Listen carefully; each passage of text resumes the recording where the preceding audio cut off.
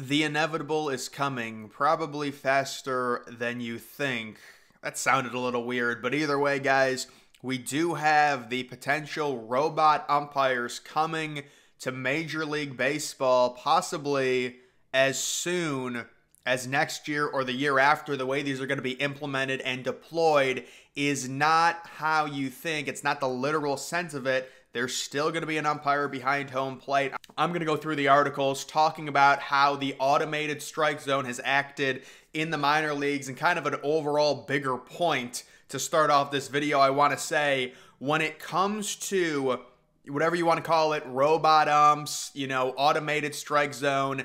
The big issue is the looping curveball, in my opinion. So, what tends to happen with these automated strike zones, you'll get a pitch that has such a high arc, a catcher might catch it like in the dirt. I've actually seen somewhere a ball hits the dirt and they call it a strike because it's all about where the ball intercepts over the plate. And you may say, well, that's good because it's accurate. I think that's a little bit ridiculous. The idea that a ball can be near or in the dirt and still get called a strike just because of where it crosses home plate that's imagine getting called out on a, on a third strike like that. That to me is the only potential big flaw when it comes to these robot umps. Now, originally about four or five years ago, I did like the aspect of human error. And honestly, I still kind of do. There are a ton of people that constantly complain about umps. It's the exact same thing with NFL refs. It's the exact same thing with NBA officials. People are going to complain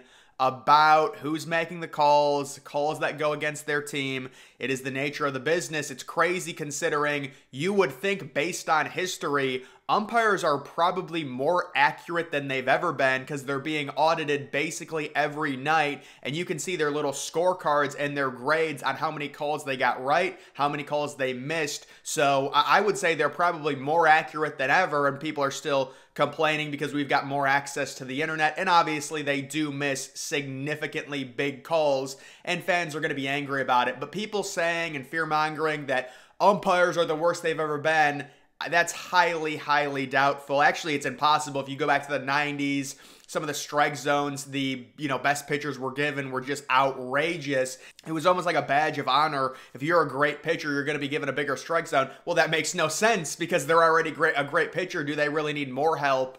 But I did used to like the human aspect of it. Like if a, an umpire was calling an outside pitch consistently throughout the entire game, that's fine. That's not a big deal. But we understand now in 2024, in a word, everything is optimized.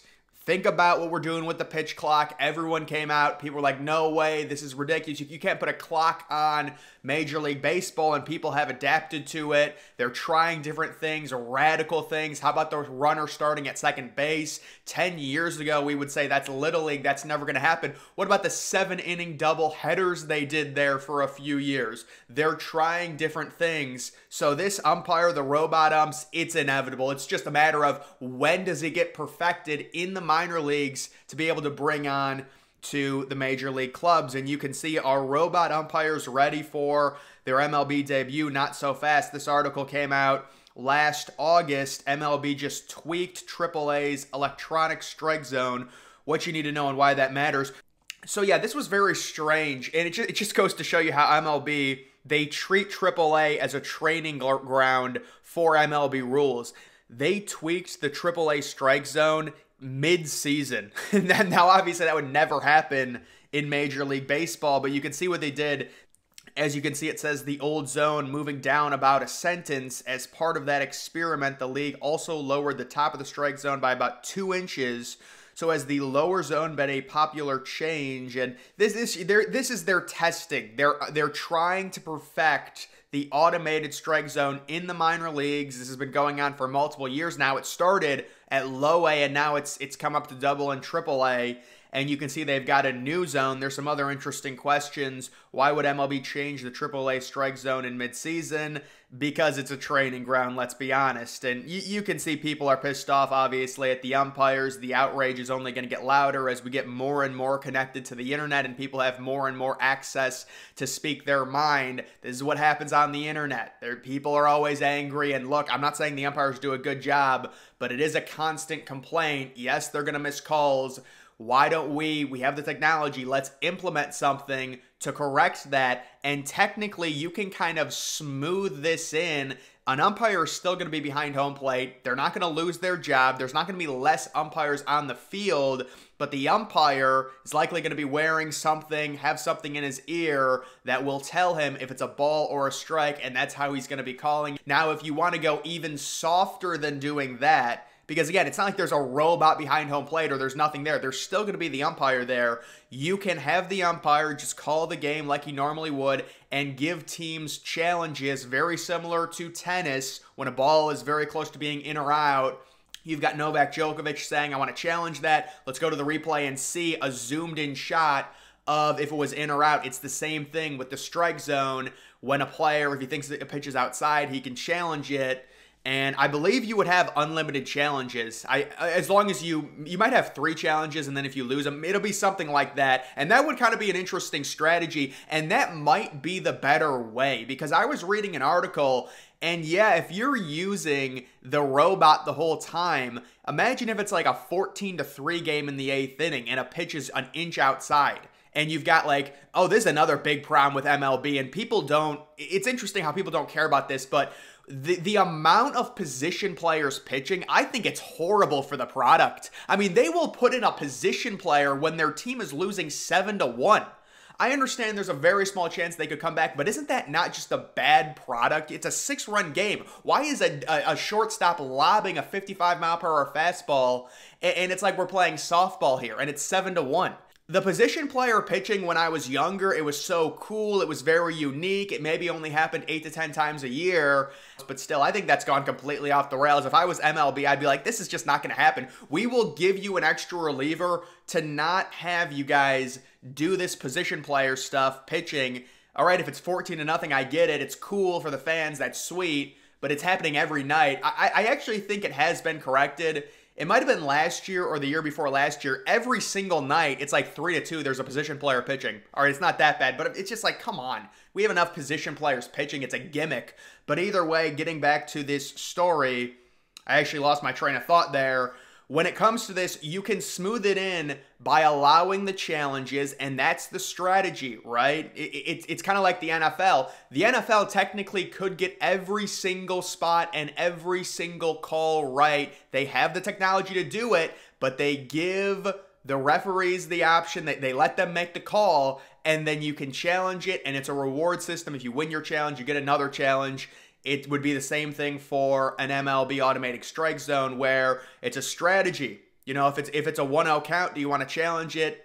Or may, maybe you lose the challenge and you're down to two challenges. Or I don't know how many challenges they would get, but that is more along the line of you you're implementing that technology, but you're still allowing the umpire to make the call. The argument against that would be it would just slow the game down. Because if you just allow the umpire to have something buzzing in his ear and tell him ball strike and he just calls it like a robot, that would definitely be very fast for the game. There would be no arguments. Ironclad, there's a strike zone, and the strike zone would be adjusted per the height of the hitter. Obviously, Jose Altuve versus Aaron Judge, they cannot have the same strike zone. It just doesn't make any sense.